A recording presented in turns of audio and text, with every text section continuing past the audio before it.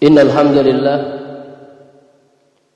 نحمده ونستعينه ونستغفره ونعوذ بالله من سرور أنفسنا ومن سيئات أعمالنا.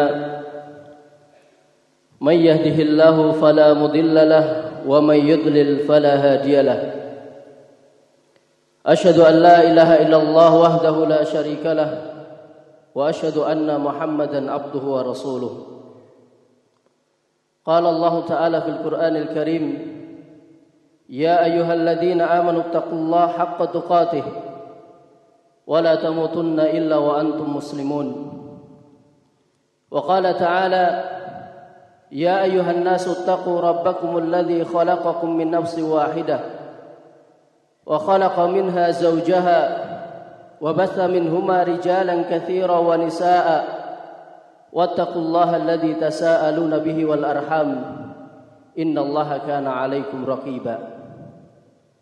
فإن أصدق الحديث كتاب الله وخير الهدي هدي محمد صلى الله عليه وسلم وشر الأمور محدثاتها فإن كل محدثة بدعة وكل بدعة ضلالة وكل ضلالة في النار. Sidang jemaah Jumat rahimani wa rahimakumullah. Marilah senantiasa kita memanjatkan puji dan syukur kehadirat Allah Subhanahu wa taala yang telah melimpahkan begitu banyak kenikmatan kepada kita semuanya. Hingga pada kesempatan yang berbahagia ini kita masih diberikan kekuatan, kita masih diberikan kesempatan oleh Allah Subhanahu wa taala untuk duduk di salah satu rumah di antara rumah-rumah Allah Subhanahu wa taala menjalankan salat Jumat secara berjamaah. Salawat dan salam senantiasa kita curahkan kepada uswatun hasanah kepada Rasulullah sallallahu alaihi wasallam kepada keluarga-keluarga beliau kepada sahabat-sahabat beliau dan kepada umatnya yang senantiasa setia mengikuti jalannya sampai hari kiamat kelak. Sidang jemaah Jumat rahimani wa rahimakumullah. Sebagaimana iman itu naik dan turun. Begitu juga semangat. Maka kadang naik dan kadang turun. Semangat dalam hal apa pun. Semangat dalam kita beribadah. Semangat dalam kita menuntut ilmu. Semangat dalam kegiatan apa pun. Pasti ada tatkala dia semangat dan terkadang pun dia tidak semangat. Rasulullah wasallam beliau bersabda dalam hadis yang sahih yang diriwayatkan oleh Imam Ahmad.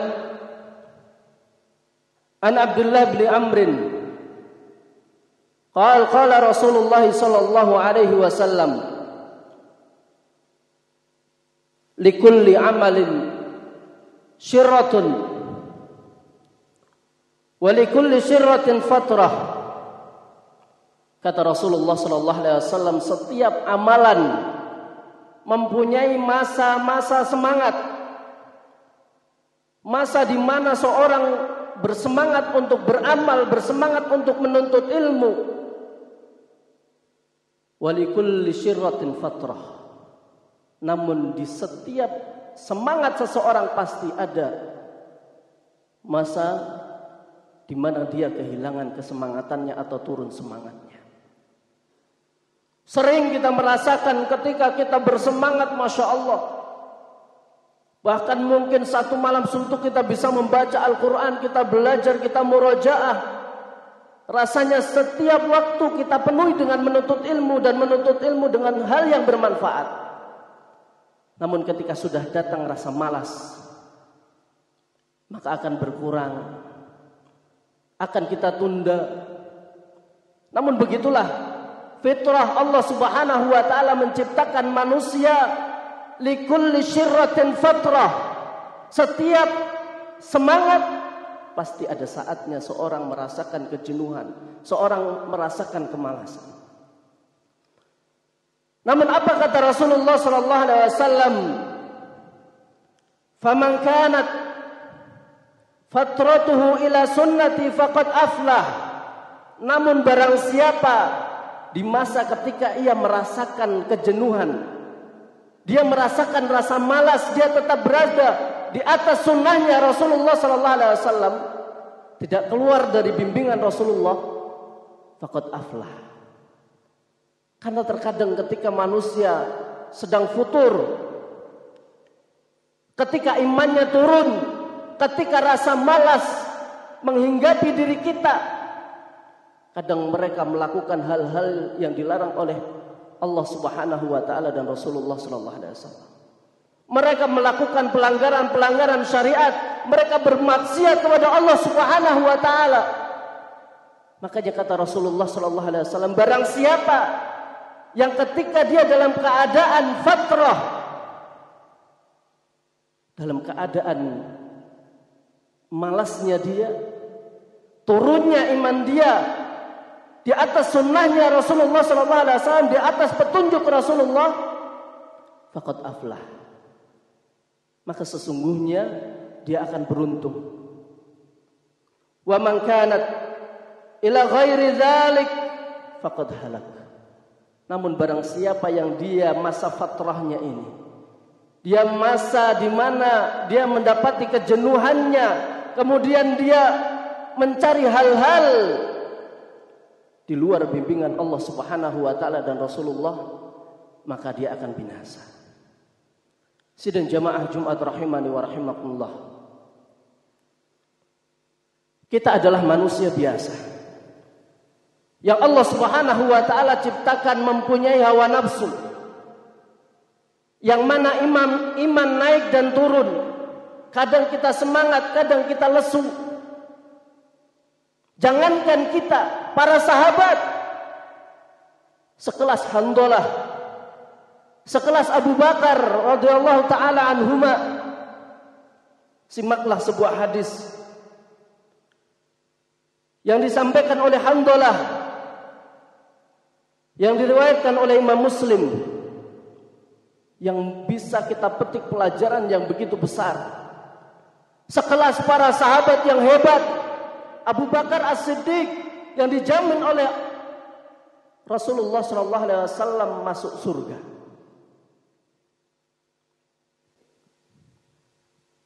An Al-Asadi Qala wa kana min kuttabi Rasulullah sallallahu alaihi wasallam. Dan Hamdalah ini adalah penulisnya Rasulullah sallallahu alaihi wasallam.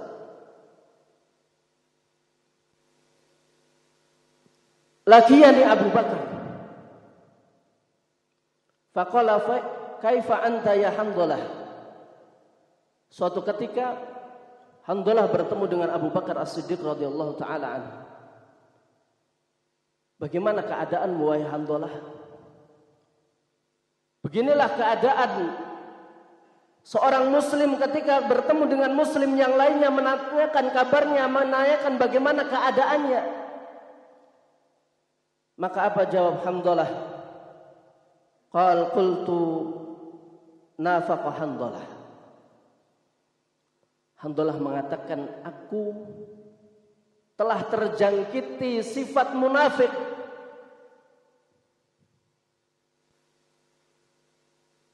Qal subhanallah. Kemudian Abu Bakar menjawab subhanallah. Takjub. Ada apa wahai engkau Hamdalah? Sehingga engkau mengatakan bahwasanya aku telah terjangkit di sifat munafik.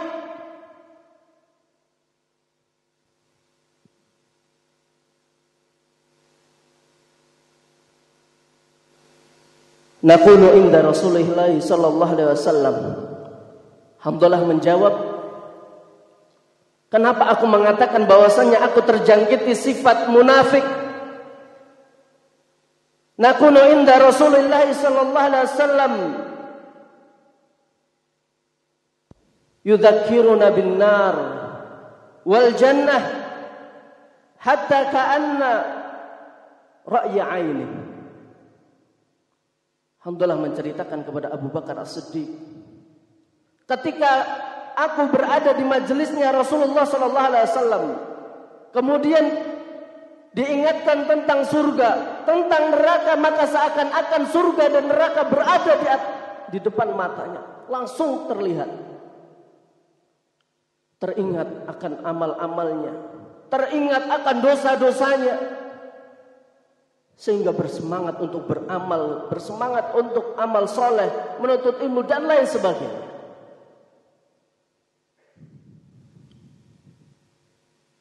Faidah kharajna min indi Rasulullah sallallahu alaihi wasallam asafna al-azwat wal aulad wal dhai'at kata Hamdalah namun ketika keluar dari majlis Rasulullah sallallahu alaihi wasallam kita terlupakan dengan anak-anak kita, dengan istri-istri, dengan pekerjaan dan lain sebagainya. Maka Alhamdulillah mengatakan aku telah berbuat kemunafikan. Ketika kita berada di majelis ilmu, kita ketika kita belajar, mungkin ketika kita di kelas, ketika kita diingatkan tentang surga dan neraka seakan-akan berada di depan mata. Namun ketika kita keluar dari majelis tersebut, seakan-akan surga dan neraka tiada. Ia melakukan apa pun yang mungkin itu melanggar syariat, yang itu mungkin bermaksiat kepada Allah Subhanahu wa taala. Itu kita. Para sahabat mereka hanya mungkin sibuk dengan keluarganya sibuk dengan mencari maisha, itu mereka sudah melabeli kita ini sudah berbuat kemunafikan.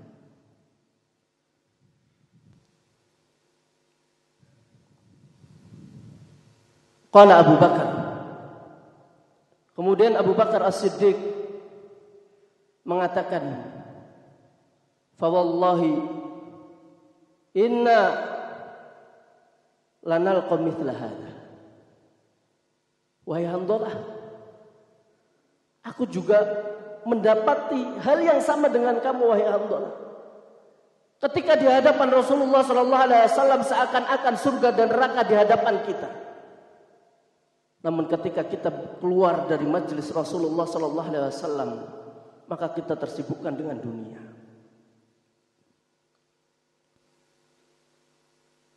Fantalaktu ana wa Abu Bakar.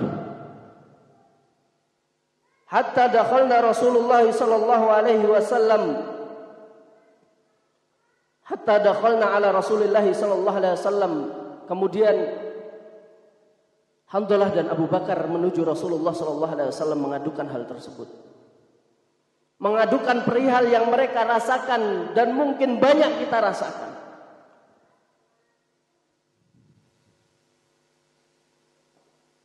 Kemudian menghadap Rasulullah sallallahu alaihi wasallam dan Hamdalah mengatakan nafaqah Hamdalah ya Rasulullah. Hamdalah telah berbuat munafik wahai Rasulullah sallallahu alaihi wasallam. Faqala Rasulullah sallallahu alaihi wasallam Wa madzak Perihal apa wahai Hamdalah sehingga engkau mengatakan bahwasanya dirimu berbuat kemunafikan? Maka Handalah menceritakan kembali. Qultu ya Rasulullah, nakunu indaka tudzakkiruna bin nar wal jannah. Ketika berada di majelis wahai Rasulullah, kita diingatkan surga, diingatkan neraka seakan-akan berada di depan mata. Namun ketika kita keluar dari majelismu, maka kita tersibukkan dengan dunia wahai Rasulullah. Faqala Rasulullah sallallahu alaihi wasallam. Perhatikan apa yang disampaikan oleh Rasulullah sallallahu alaihi wasallam. Dan ini menjadi pegangan buat kita ketika kita berada mungkin kita sedang lesu, mungkin kita sedang malas. Walladzi nafsi biyadi.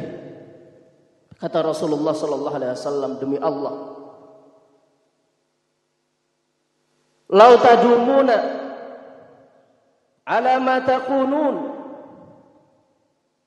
indi wa fi dzikri la safahatkumul malaikah ala furushikum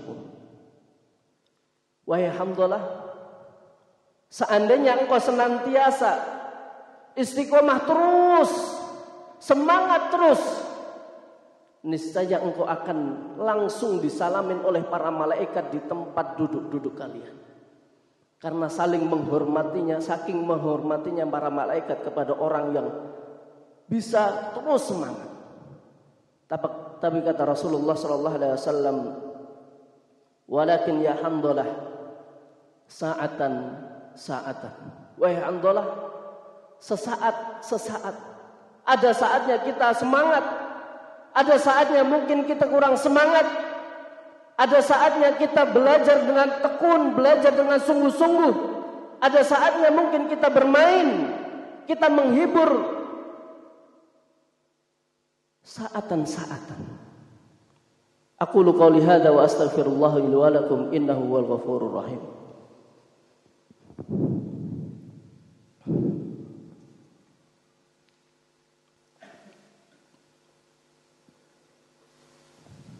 الحمد لله الحمد لله رب العالمين والآقبة للمتقين ولا عدوان إلا على الظالمين أشهد أن لا إله إلا الله وحده لا شريك له وأشهد أن محمدا عبده ورسوله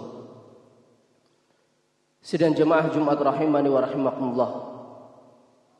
Lalu apa yang hendaknya kita kerjakan agar kita senantiasa walaupun kita dalam keadaan fatrah pun kita dalam keadaan lesu tidak sampai kita futur tidak sampai kita menerjang larangan-larangan Allah Subhanahu wa taala ketika kita menuntut ilmu terlebih. Yang pertama, hendaknya kita mengikhlaskan niat kepada Allah Subhanahu wa taala. Niat adalah yang menentukan bagaimana jalannya kita dalam menuntut ilmu. Kita tahu bagaimana Kisah tiga orang yang pertama kali diceburkan oleh Allah Subhanahu wa taala ke dalam neraka. Amalan yang sangat besar. Orang yang dermawan, orang yang terbunuh di medan pertempuran. Orang yang belajar dan mengajarkan Al-Qur'an. Namun Allah Subhanahu wa taala ceburkan ke dalam neraka karena niatnya yang salah. Seorang akan semangat ketika ia mempunyai niat yang benar. Ia mengharapkan ridha Allah Subhanahu wa taala maka dia akan semangat. Sesuatu yang berat akan menjadi ringan ketika itu didasari oleh keyakinan di dalam hatinya. Ketika dia betul-betul jujur, niat menuntut ilmu, menghilangkan kebodohan pada dirinya dan untuk mendakwahkan ilmu tersebut seberat apa pun semuanya akan menjadi ringan. Maka niat ikhlas itu adalah pondasi dari semua amalan yang kita kerjakan. Kemudian yang kedua yang hendaknya kita camkan selalu kita bersama orang-orang yang soleh. Kita mencari teman, teman yang baik Teman yang senantiasa mengingatkan kita ketika kita lalai. Teman yang mendukung kita, memberikan semangat kita. Bukan justru teman yang menyeret kita menuju kemaksiatan, menuju kelalaian.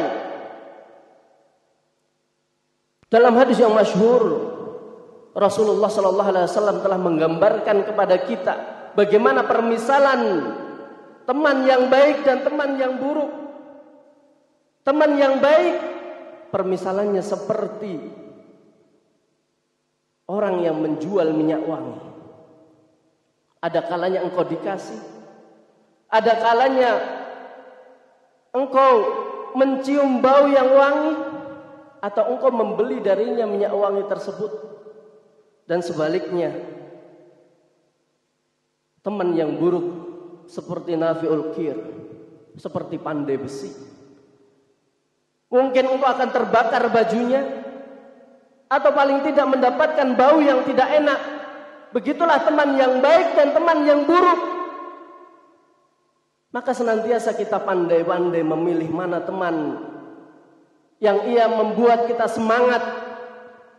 Semangat untuk menghafal Al-Quran, semangat untuk belajar ilmu agama, semangat untuk morojaah. Cari teman yang ia akan membantumu bersemangat dalam menuntut ilmu. Sidang jamaah rahimani wa rahimakumullah. Dan yang terakhir adalah kita hendaknya bersabar. Karena dalam menuntut ilmu pasti banyak halangan, rintangan, godaan. Syaitan tidak akan pernah berhenti untuk menggoda manusia ketika manusia berada dalam ketaatan selalu akan memberikan bisikan mengajak kepada keburukan. Begitu juga hawa nafsu kita. Innan nafsa la ammaratun bisu. Hawa nafsu senantiasa mengajak kepada keburukan, kemaksiatan. Maka kita hendaknya bersabar. Kita berdoa kepada Allah Subhanahu wa taala agar Allah Subhanahu wa taala memberikan keteguhan. Walaupun kita dalam keadaan lesu walaupun dalam keadaan turun iman kita kita tetap berada di koridor. Kita tetap berada di atas ajaran Rasulullah wasallam dan kita tidak keluar memaksiati Allah dan Rasulullah wasallam. Allahumma salli ala Muhammad وعلى آل محمد كما صليت على آل إبراهيم وعلى آل إبراهيم إنك حميد مجيد. وبارك على محمد وعلى آل محمد كما باركت على آل إبراهيم وعلى آل إبراهيم إنك حميد مجيد. اللهم اغفر للمؤمنين والمؤمنات والمسلمين والمسلمات الأحياء منهم والأموات. إنك سميع قريب مجيب الدعوات يا قاضي الحاجات.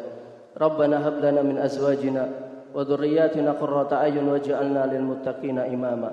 ربنا هب لنا من أزواجنا وذرياتنا قرة أعين واجعلنا للمتقين إماما ربنا آتنا في الدنيا حسنة وفي الآخرة حسنة وقنا عذاب النار Akhiru da'wana anil hamdulillahi rabbil alamin. Aqimis salat.